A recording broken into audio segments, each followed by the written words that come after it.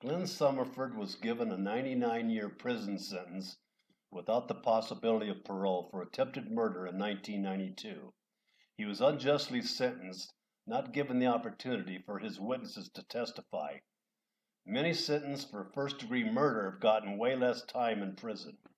He is now 76 years old and has been in prison for nearly three decades. I played the part of Glenn around 2004 on Animal Planet not knowing the injustice of his imprisonment. I contacted the governor of Alabama asking for his pardon. No response. He is incarcerated at Bullock Correctional Facility, Highway 82, East Union Springs, Alabama. His prison ID is AIS 000980070. A cry of injustice needs to be made by the public so this man can spend what time he has left with his family. He does not deserve such a long sentence, having never been proven guilty. Free Glenn Summerford.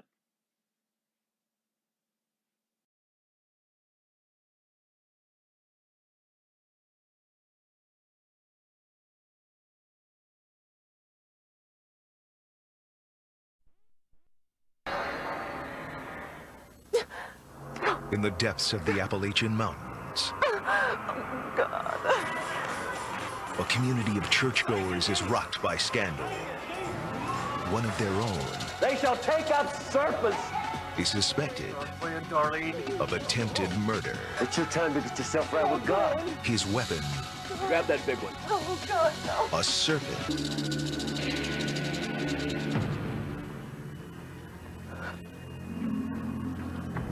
Hills of northern Alabama. 36-year-old Darlene Summerford was praying for a miracle. She'd been bitten by a caged rattlesnake. The emergency was more than a freak act of nature.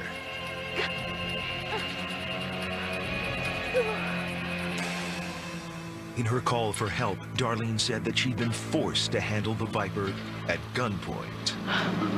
There, oh, there she is. Darlene intended to escape unnoticed from her attacker's snare. Oh, God. Oh, I've been bit by a snake. Okay. What's your name? Oh, I think I'm gonna die. Calm down, calm down. Her getaway plan had worked, but she was not out of danger. I'm gonna give you some oxygen, okay? You don't short of breath at all? All right, so put you on some oxygen here, okay? Slow deep breath, darling. You open your eyes for me? Open your eyes, wide open. All right. Stick an IV in this arm, okay, darling? The venom had been in her system for more than 24 hours. All right. Let's go.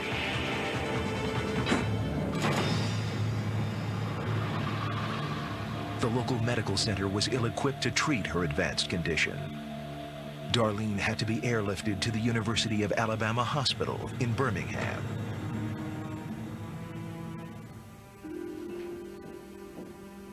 The Reverend Glenn Summerford, a spiritual snake handler and Darlene's husband, learned of her condition the next morning.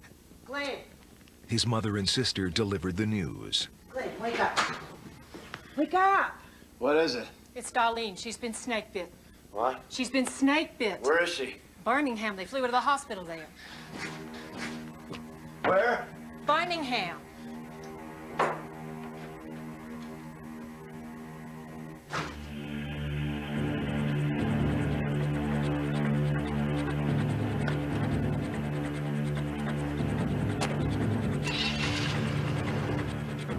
Glenn Summerford raced to the hospital 120 miles away.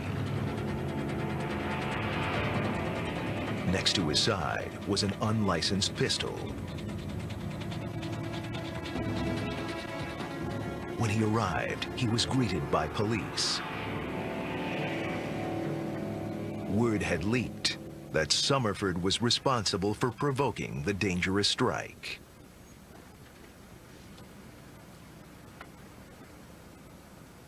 Sir, I need you to shut your vehicle off. I need you to step out of the vehicle, sir. What's going on? Step outside of your vehicle, sir. Turn around and place your hands on the bed. Good, partner. Don't move. Don't move. While his wife recovered, Put your hands on your head. Glenn Summerford was questioned by police. He was later brought up on charges by a grand jury. Sir, you're under arrest. I was stringing for the New York Times, and um, the paper had asked me to cover the trial of a snake handling preacher who had attempted to murder his wife with rattlesnakes.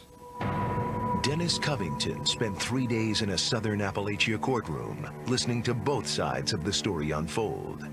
Please state your name for the court and jury. Darlene Summerford. The events leading to the fateful snakebite would come down to the preacher's word against his wife's. And what is your relationship to the defendant? He's my husband.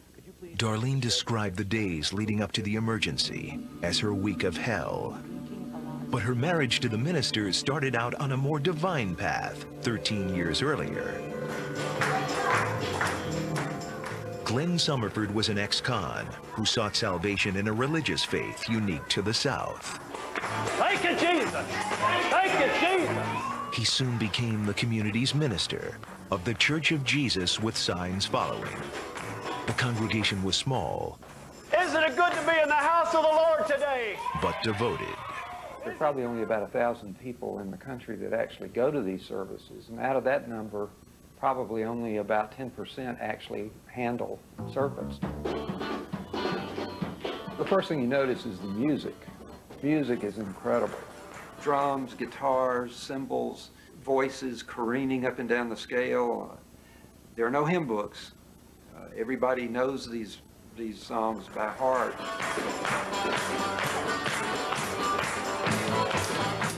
Praise God. Praise God.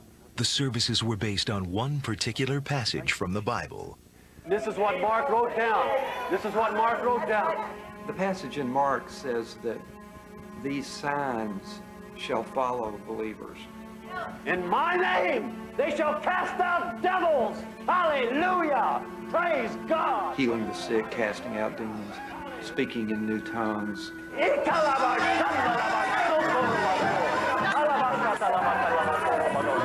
And taking up serpents and drinking poison.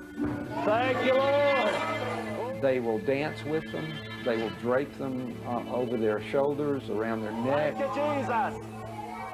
Thank When I talk to some of the members of the um, church, In my name, they shall take up serpents. I would ask them, you know, what, why do you do this? And uh, I would ask them, what does it feel like? And their answers seem to me to be so genuine and thoughtful. And it says, they shall drink any deadly thing, and it shall not harm them. Hallelujah. Ah, Sando Koro. I asked Glenn if he had ever drunk poison, and, and he said yes. And I said, well, how about Darlene? Did she ever drink poison? And he said, when she was living right, she did, which always struck me as kind of an odd answer. When she was living right, she drank poison. Thank you, Sister Darlene. Darlene was also known for her snake handling skills. She'd been bitten only once in 13 years. Hallelujah. Hallelujah. Thank you, Lord. Thank you, Lord. Her relationship with the snakes and her husband would be the issues at trial. In the weeks prior to being airlifted to the hospital, Darlene and Glenn began having serious problems. All right, brother friends. I'm dependent on you. Glenn talked about quitting the church because he and Darlene were backsliding. Backsliding is a term in the South that means that you have essentially fallen from grace uh, by behaving in ways that aren't Christian. And um, there's a saying among the snake handlers, you know, we get saved hard and we sin hard. Glenn had taken to the bottle. Drinking vodka screwdrivers, morning and night.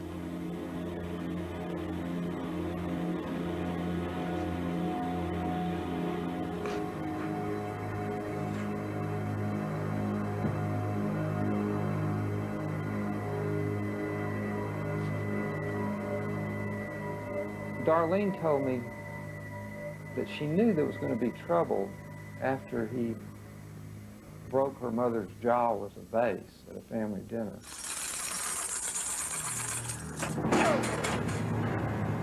I can't live like this anymore. You need to get yourself right with God, and especially with me. What are you talking about? Glenn suspected Darlene of infidelity, which he adamantly denied. No, no. Oh, yes, you have. No. Darlene accused Glenn of having an affair with one of his parishioners. What are you doing? Start praying, Darlene. Start praying. You're coming with me. No, Glenn.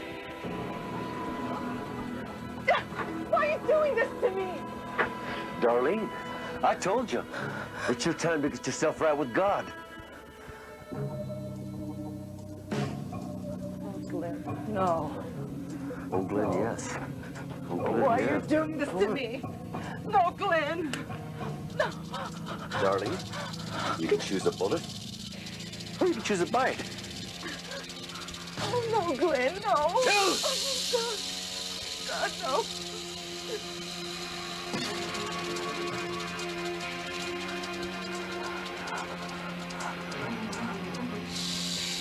Stick your head in here. Oh, God, no.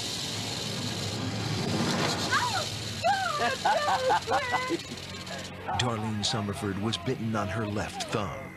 But as jurors would hear later, that was only the... Darlene Summerford testified that her husband forced her to put her hand into a box choose a bullet, containing a venomous or you diamondback. can choose a bite.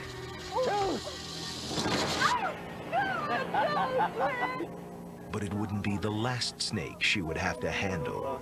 No, Glenn. He told me to put the lid back on that box.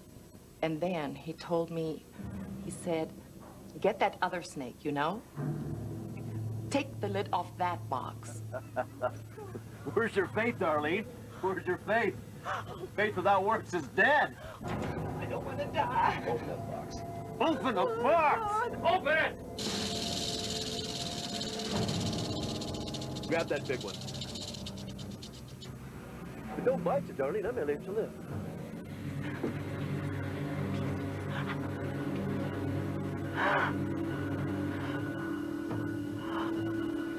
Praise God. It's a miracle. It didn't bite you. It's a miracle. Oh, Darlene testified that she passed out that night. The next day, she said that Glenn promised to take her to the hospital. Slow down. I'm getting sick again. Well, good, Darlene. It's about time you're finally gonna die. She was essentially his captive. Here, Hannah, let me slow this thing down for you, okay? He was armed, and, and he kept promising her that he was going to take her to the hospital, but he never would. He took her to the video store, he took her to the liquor store, and I don't think she really thought that he was going to kill her.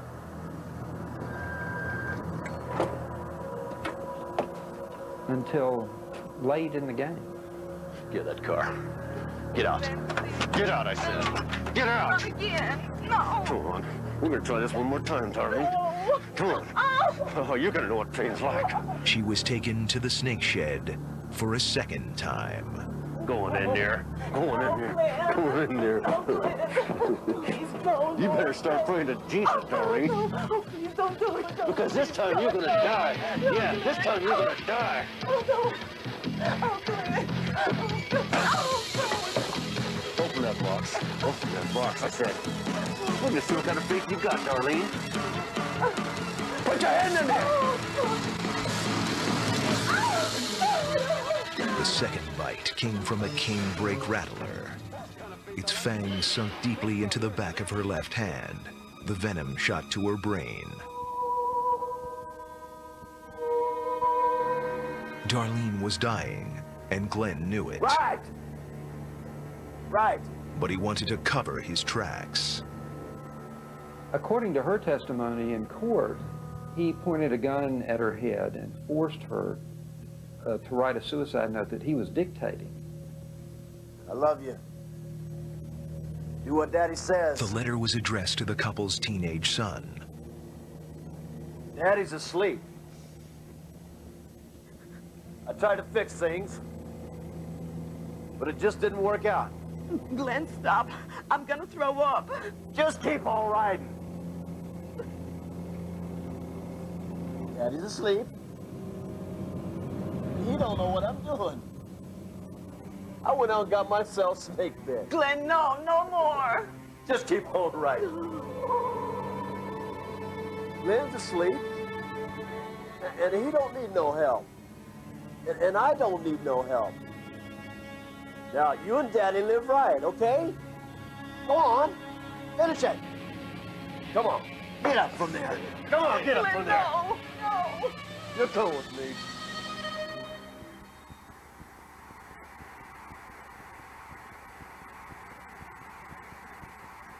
Ultimately, he passed out on the couch watching TV.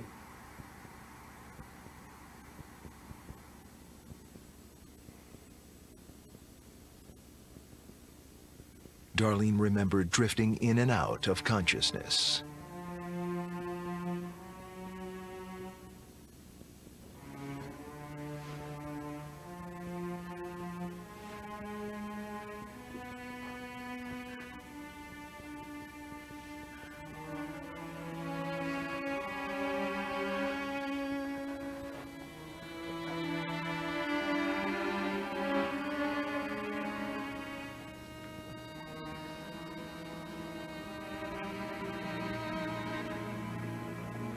Husband slept, she called her sister. It's me, Darlene. I need help. I've been snake bit. Call an ambulance. No lights, no sirens. I don't want to wake him up.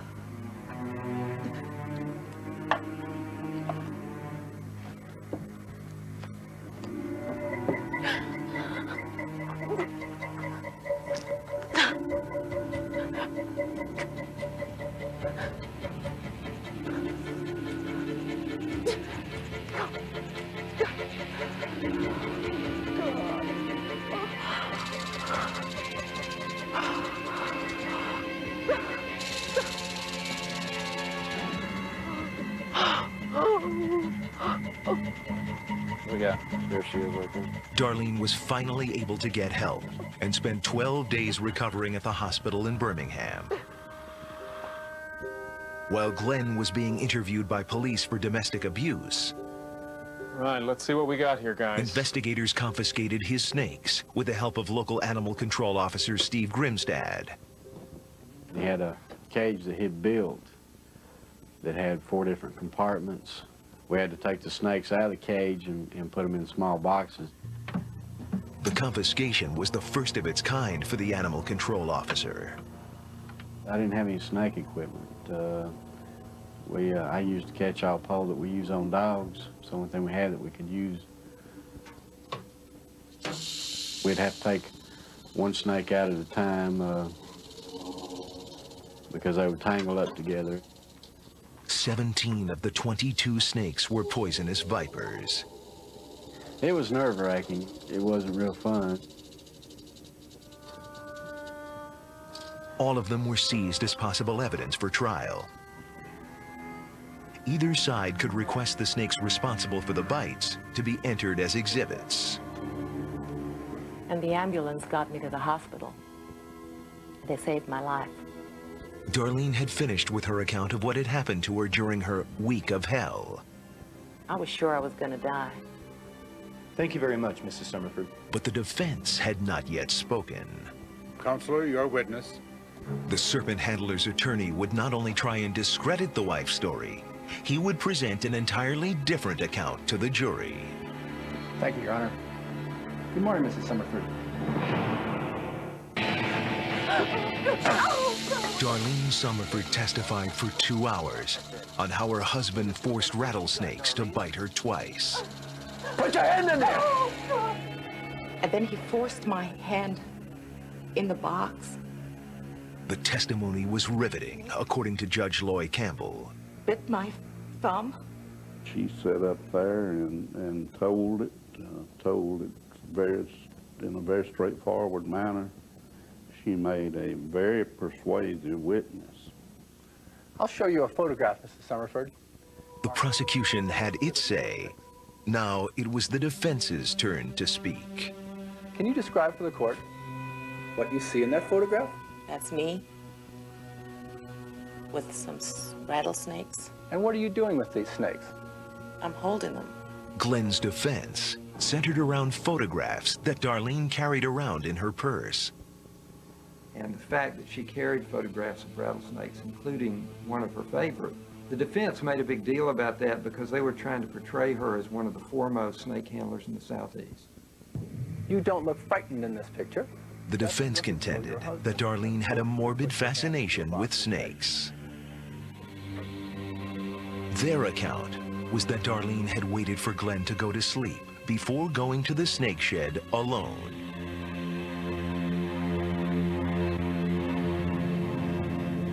Defense claimed that she had picked up the dangerous snake in an attempt to commit suicide. The suicide note not only confirmed this, it provided Glenn with an alibi. Call your next witness, Counselor. But a surprise witness would present them with yet another version. The woman was a church member and claimed to be an acquaintance of Darlene's. What did Mrs. Summerford tell you about the snake bite? I asked her what happened, and and she told me she got snake bit. And and I said at church, and she said no, at home. And I said, how come? And she said, I got Glenn drunk and went out to get a snake. Her testimony kind of sent the courtroom into a buzz because what she said was that it was Darlene trying to kill Glenn that had resulted in the bites. And did she say that her husband had forced her to put her hand into a box of snakes? No. And that Darlene had waited till Glenn had fallen asleep and then gone out to the shed and gotten tried to get a rattlesnake out to put on his neck to bite him, but she got bit in the process. After two days of testimony, the jury deliberated five hours before reaching a verdict. Ladies and gentlemen, have you arrived at a verdict? Yes, we have, Your Honor. Defendant will rise. We, the jury, find the defendant, Glenn Summerford, guilty of attempted murder as charged in the indictment. Think that's what turned the jury, was that curious suicide note. That's right. That's right. Keep on. Yeah, go on. Finish it. Daddy's asleep. Daddy's asleep. And he don't know what I'm doing. Daddy's sleep. Glenn's asleep. Glenn's asleep. Daddy's asleep. I like that part. Why would she continue to say that? I mean, it, it makes sense that if he were dictating that to her, that's what she would be writing to cover him. There you go. That's good. Keep on writing. Finish it out there. They didn't believe it was a suicide note. Alabama state law has an Habitual Offenders Act mandating three strikes and you're out. The judge gave the Reverend a stiff sentence. He believed her, and I believed her. He was flat out trying to kill her. I had a, only a choice of 99 years or life. So I gave him the lesser sentence. The man of God would be punished by the law of man. Glenn Summerford was transferred to the Alabama State Penitentiary to serve out his sentence. Darlene Summerford moved out of town, leaving behind the Church of Jesus with signs following. As for other snake handling churches in southern Appalachia, they still hold services. For believers in the power of good over evil.